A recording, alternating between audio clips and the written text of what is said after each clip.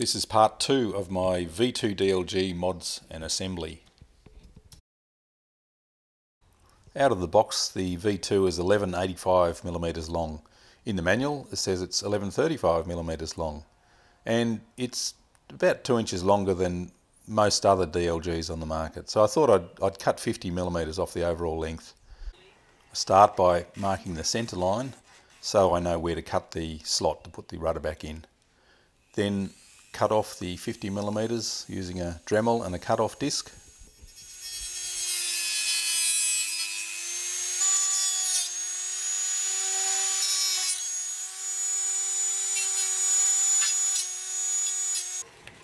Then it's just a matter of cracking the cut-off boom away from the rudder. That comes away very easily without doing too much damage to the rudder.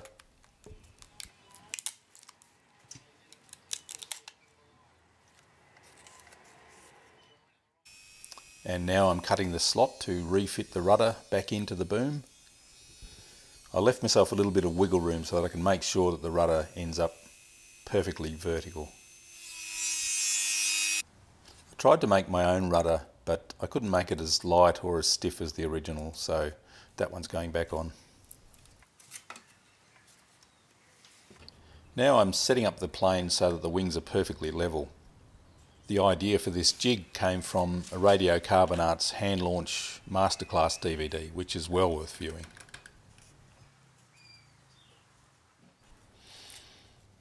And I'm just using 5 minute epoxy to fix the rudder in place. You could use CA, but I prefer 5 minute epoxy. It gives me a little bit more time to work with it.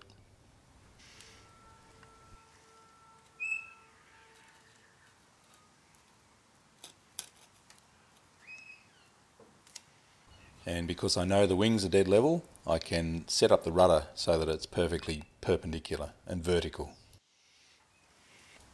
And getting rid of any excess glue, don't want any extra weight on the tail, and finally eyeballing it to make sure I haven't made any silly mistakes.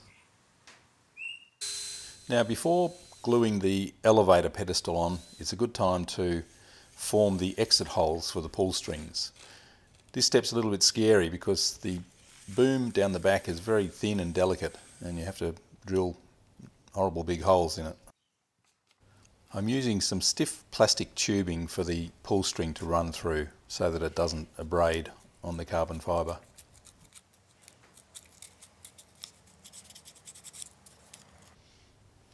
And I'm using a reasonable amount of epoxy glue in this area because I want to sort of regain some of the strength that I've taken out by drilling the hole. And then finally taping it flat so that it holds the angle that I want. And repeating that same process for the elevator pull string.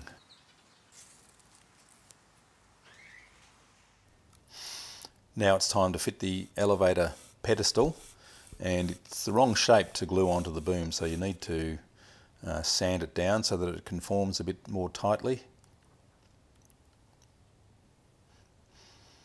Work out where it wants to be positioned so that the elevator doesn't clash with the rudder. Sand it up and glue it on.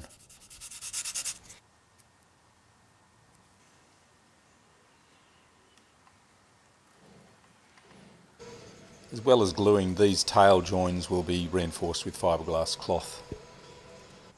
Now it's time for the most crucial step of gluing the elevator on. And I've started by taping it down to a cutting mat with nice long um, alignment marks so that I can get everything square and, and set up uh, correctly. Now I want the wing and the elevator to be both at zero angle of incidence so I made sure the table is level in both directions and then using my homemade incidence meter I jacked up the front of the uh, plane so that the wing is at zero angle of incidence and I know that the elevator is at zero so now I can uh, glue the elevator on.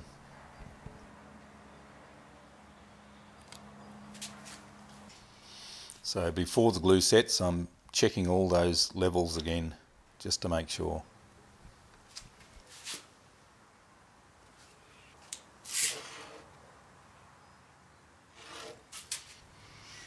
And finally checking by eye just to make sure that I haven't made any silly mistakes.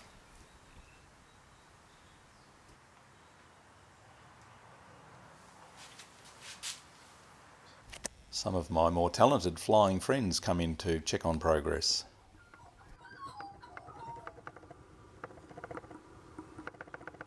And the final part is to reinforce those joins with fiberglass cloth and finishing resin. So I'm masking off the area just so that I don't make too much of a mess.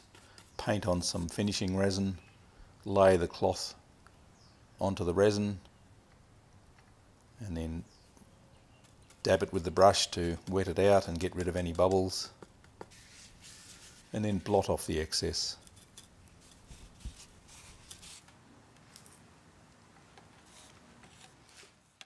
Repeat for the other side of the rudder join and for the elevator joins as well.